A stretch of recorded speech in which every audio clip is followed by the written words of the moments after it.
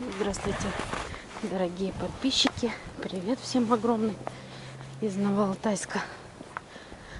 Иду я сегодня по делам. Сегодня 9 октября. Видите, как у нас тут дорогу пытаются делать люди. Кирпича надолбили. Ой, шиферы. И думаю, надо же вторую серию, вторую часть рассказать нашего переезда, наших мытарств. Я, конечно же, в первой части не рассказывала совсем уж о том, как было фигово, когда мы здесь-то, как я уже говорила, все оставили, сами поехали за вещами. И когда в Семипалатинск приехали, и мы еще здесь автомобиль оставили, Запорожец, он у нас сломался. Он был очень старенький. Че, какого года? 80-х, наверное, годов. Юриного папы. Ну и тоже у людей оставили его. Тоже переживали очень сильно. Ну, речь не о том, как мы переживали за автомобиль, а о том, как мы приехали, и нам там в Семипалатинске начали палки в колеса вставлять. Но я не буду, конечно же, переходить на личности. И было очень грустно и обидно. Столько пережила вообще, ужас. Бестолковая была, что 26 лет. Еще беременная. И ни о чем не думала. Вот зачем надо было ехать куда-то? Сидела бы на месте. Нет, поперлась жена декабриста муж предложил поехать. И вот надо было мне. Когда закончили техникум, у нас было распределение. Мы тогда не уехали, потому как Юра не мог оставить старых родителей. Старые родители у него были. Думал, как уедет, как досматривать будет. Но на то время, когда мы поехали, отец уже умер. Он, слава богу, ходил за ним до последнего. Ой, это было, конечно, это отдельная история. Но молодец он. Не оставлял мать. С работы бежал в больницу. Потом, когда уже его выписали, последние дни ему оставались, он все время с матерью был, у матери домой так к нам с Андреем заходил переодеться и на обед. Максимум видели его полчаса. Ну, ездили тоже с Андрюшкой в больницу к деду. Ладно, сейчас повествую дальше. Вот поехали, мы сели на поезд, купили плацкартный вагон. Ой, купешку купили. Плацкартный, что говорю, в купе мы ехали. Вы купили купе мама, я, сынок и доча.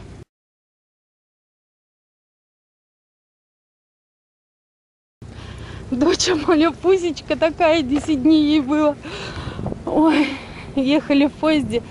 Благо ехать-то недолго. Семипалатинска до Алтая. Так мы пеленки стирали, вывешивали в проходе. Нам никто не запрещал. Все сохло очень быстро. Какие памперсы раньше? Да я о них и не помышляла. А вот о памперсах-то. У нас было как по стандарту подгузник матерчатый из фланели пеленка тонкая, птица и фланелевая. О, как раньше было. Ладно, доехали мы до Барнаула. Нас там Юра встретил. Пока они с отцом уехали сюда, на Валтайск, Юра успел пристроиться на работу. Извините. Вспомнил, что когда-то ездил сюда, у него знакомые были в Барнауле. А у них были пасеки. И была у них, был у них газик. И, в общем, как предприниматели они числились. И к, ним он и пошел.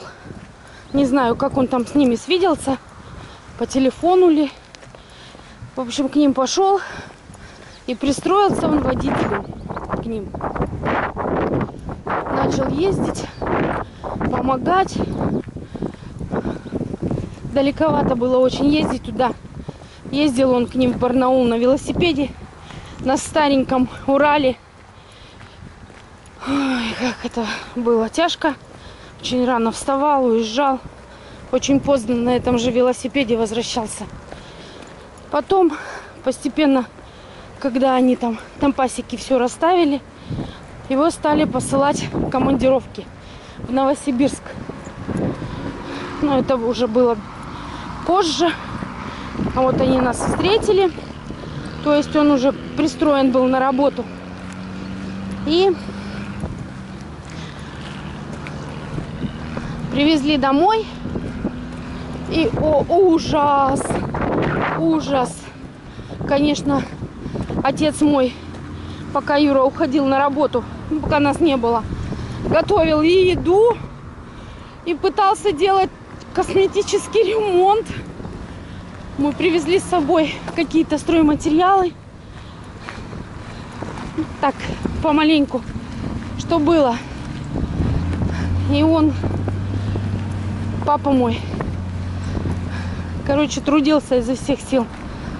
Тут мы приехали, переночевали. И на следующий день я просыпаюсь. И у меня температура 40. Вот те здрасте, приехали.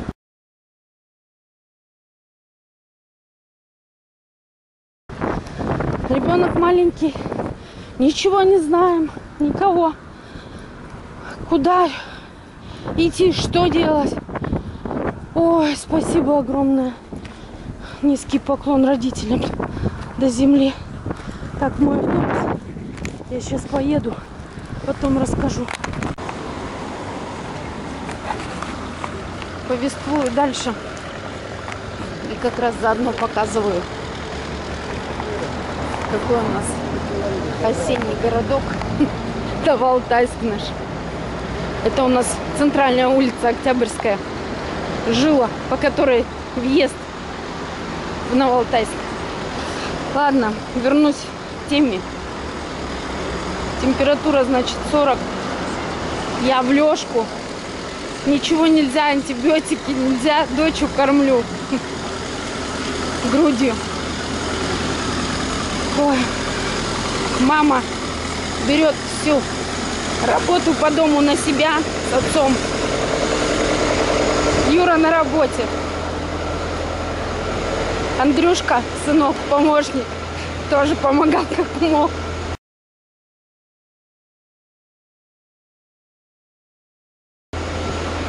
Представляете, кинулись, а у нас, оказывается, в доме нет воды. Что делать? насос заилился, посмотрели. Да и вода как-то не особо вкусная была. Ну, местные жители, соседи подсказали, что все ходят на колонку. К тому же еще, плюс к тому же, еще и воды нет. На колонку надо ходить. Ну, вообще красота, страшная сила. Ну, тут хочешь, не хочешь, болей, не болей. Я как-то собралась силами Говорю же, бестолковая. Пошла, поставила дочу и сын, сына, ну, в больницу карточки унесла, как бы на учет поставила. За себя я никуда не ходила. Просто унесла. И тут пришла к нам медсестра с поликлиники. Я все лежу, как в коматозе. Мама мне только подносит там покормить ребенка и сама все делает. Забегая вперед, скажу, что когда родила моя дочь, я боялась этого. Поэтому я все бросила и работу в том числе. И поехала к ней помогать. Потому как помнила, что мне помогла мама.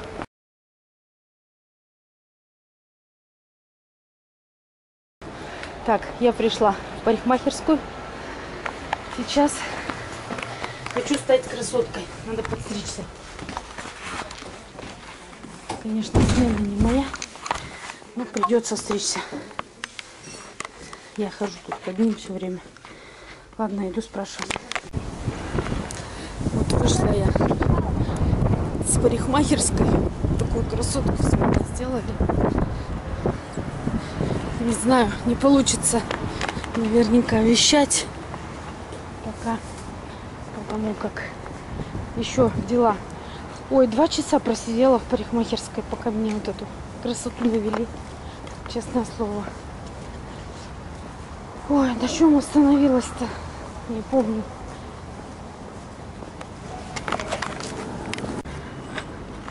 Пока перебегаю, налог заплатила, да. В парикмахерской была. Сходила вот сюда вот. Я здесь покупала раньше курицу не то что куриц, э, ну там что-то лапки, голени, бедрышки, все отдельно. Да потом я стала практиковать и ну, брать курей, потому что я посчитала, что это выгодно. Возьму сразу штук 6-7, разделаю их на запчасти, которые мне нужны. И пользуюсь. Зашла в один магазин, который за Сбербанком, второй и куриного магазина нет. Съехали, говорит. Остался один в городе, на Гагарина. Сейчас иду еще в один. Ну, тут местная, наверное. Ну, здесь осталось, так что сейчас что-нибудь возьму для Чехахбили.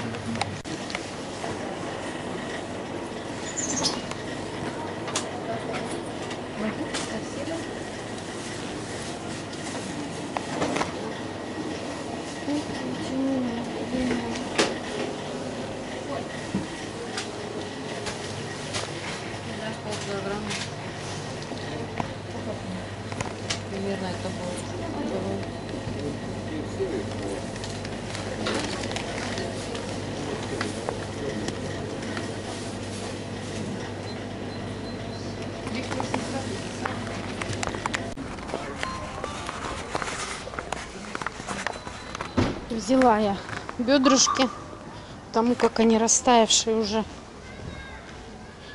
Что мне дома не растаивать. Что-нибудь приду, приготовлю.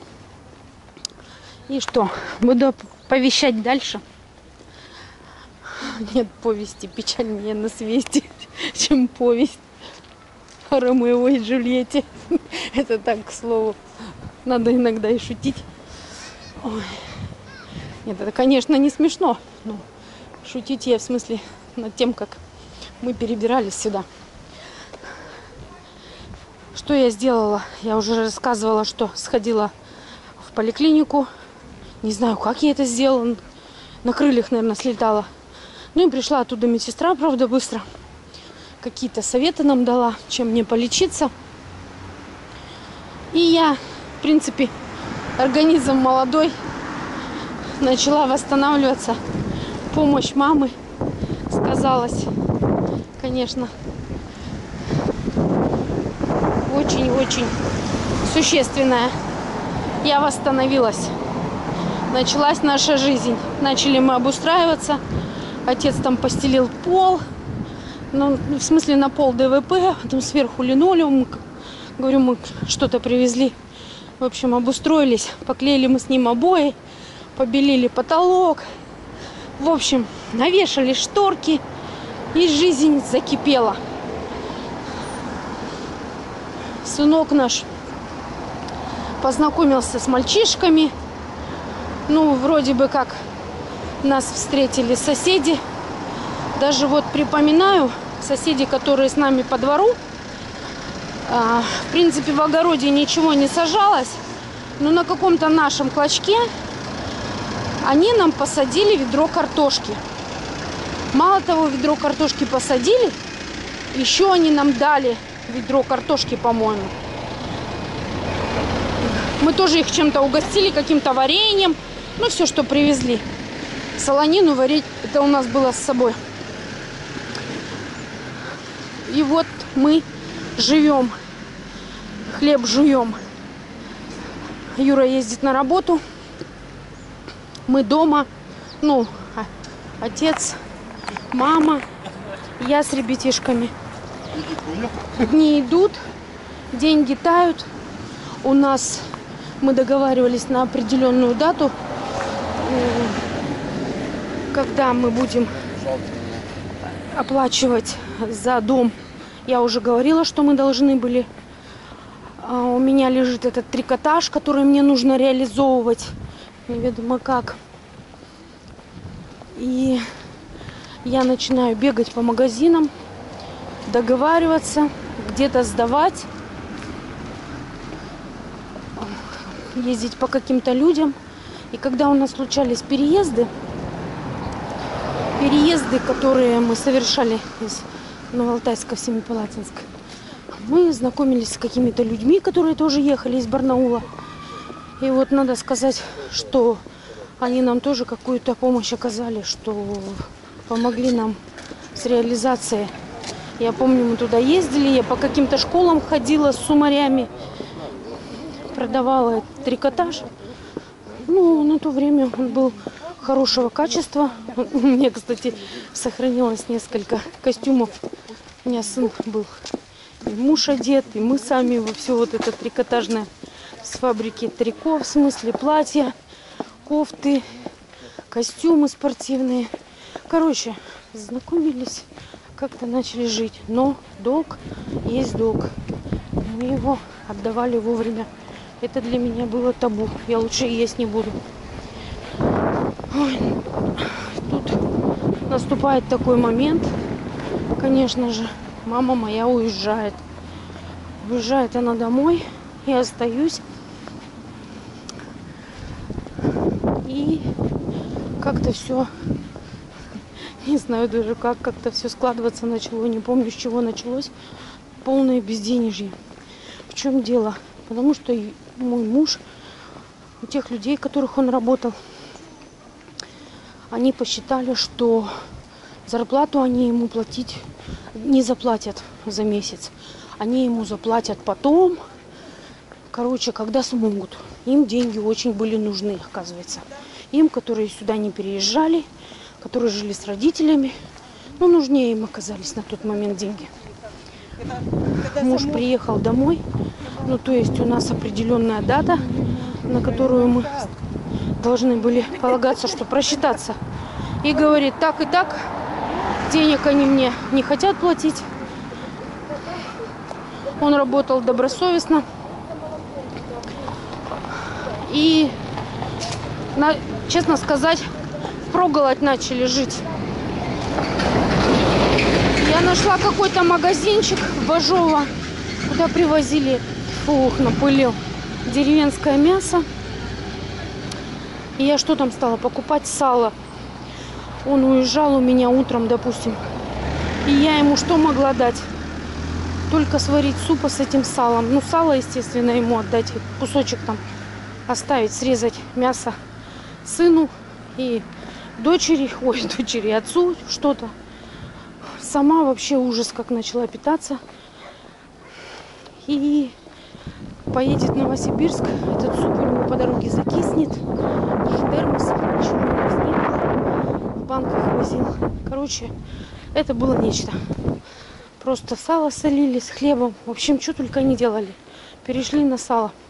Благо организмы молодые, что мы вот это вот ели. Я свинину терпеть не могу из-за этого, наверное.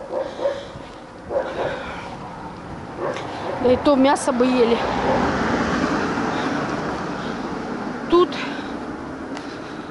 ну, у меня муж работал там, куда он приезжал, например, а, на базары. Там начинал колымить. кто-нибудь попросит что-нибудь перенести, перевести. Там же он что-то заколымет. Сразу нужно было сыну купить трансформер.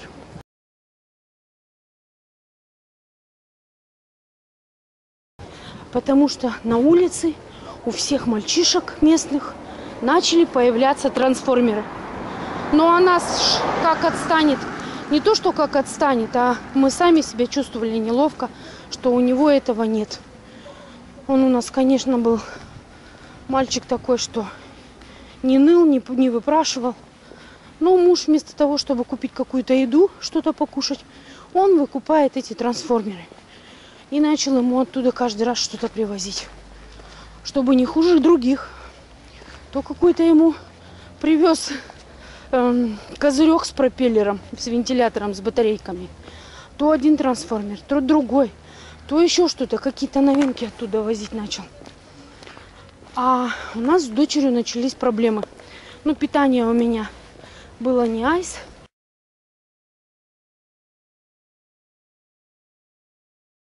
Поэтому она у меня, малышка моя, перестала ходить в туалет. Это было сплошным мучением. Чтобы она сходила у меня по-большому, ребенок маленький, нужно было ей столкать мыльце, процедуры, короче, совершить. И что мы заметили, что если я выпью стакана два газировки, видно, чего-то мне не хватало, то она нормально ходила в туалет. И вот муж мне стал возить газировку. Ой, боже мой, что мы предпринимаем?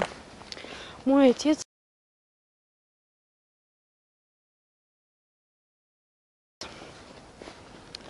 мастер на все руки. Царство ему небесное. Вообще, руки откуда надо были. Печи клал, и камины, и все, и все, что не попадя. Мы с мужем пишем объявления и ходим, расклеиваем их, что выложу печь.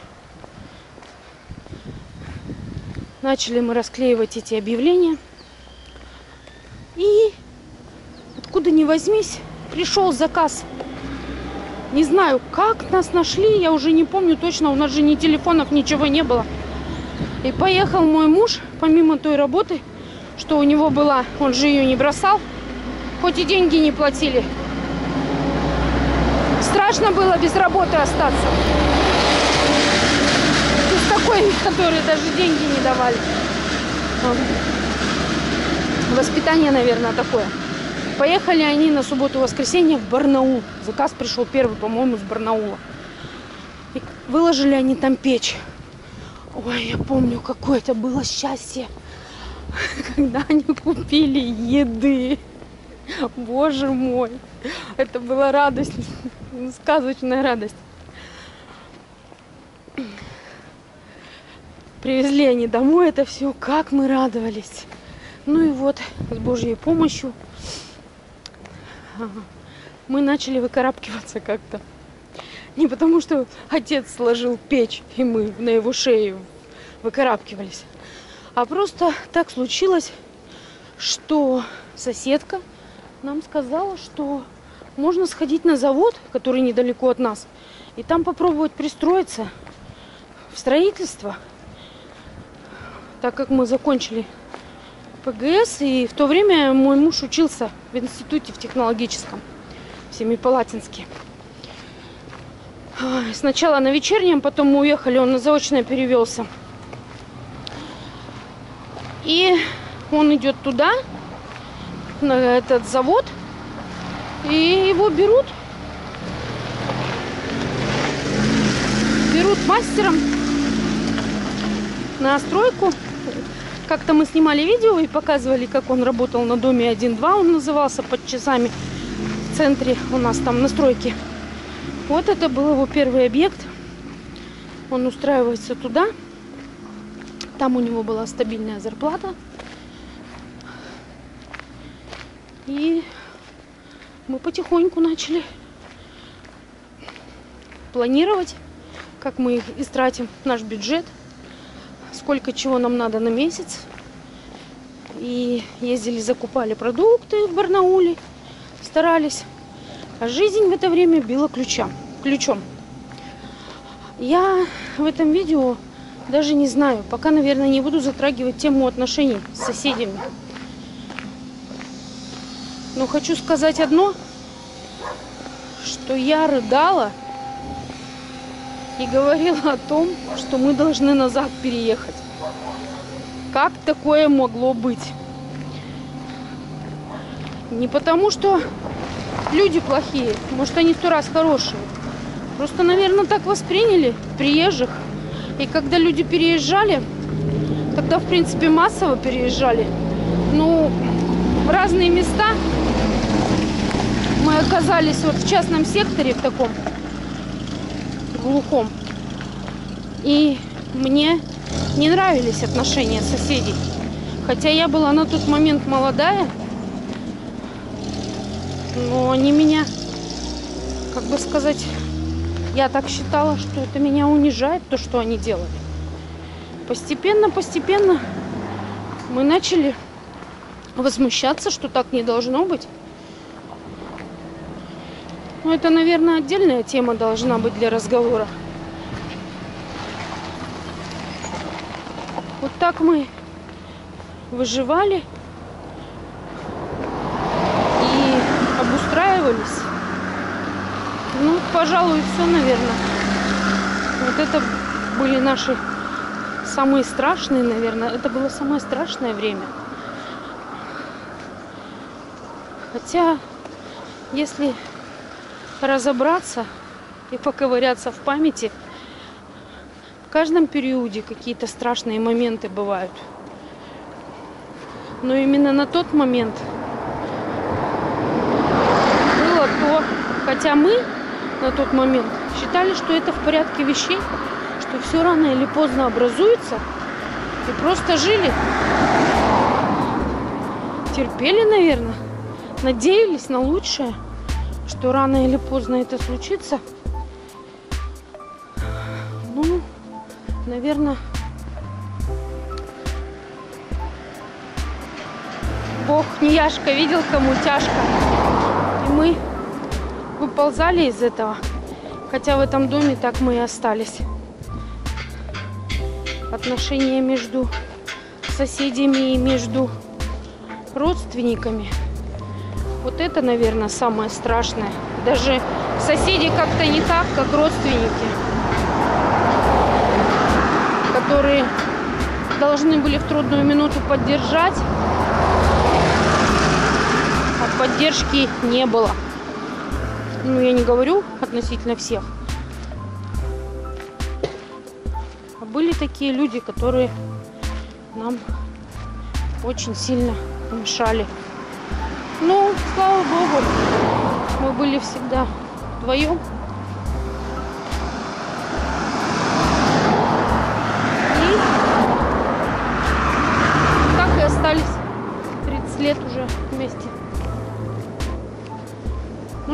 Всем пока-пока. До новых видео.